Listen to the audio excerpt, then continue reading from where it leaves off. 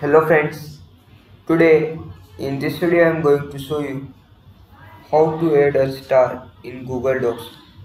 It's guys very easy and simple method. One or two step we can know how to add a star in Google Docs. Star means you can add this as a special favorite one. How to add it? Guys you are new in my channel. Please like share comment and subscribe my channel and press the bell notification. You get new and fresh technical video. Let's start our video.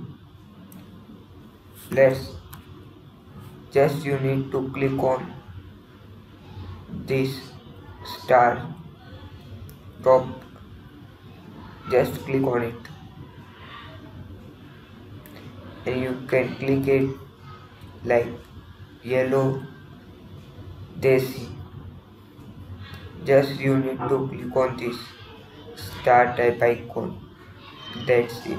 Thanks for watching. Please like share comment and subscribe my channel for latest update